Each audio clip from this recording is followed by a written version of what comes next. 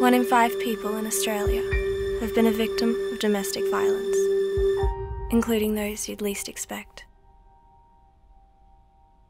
Shine a light on domestic violence. Make the call today.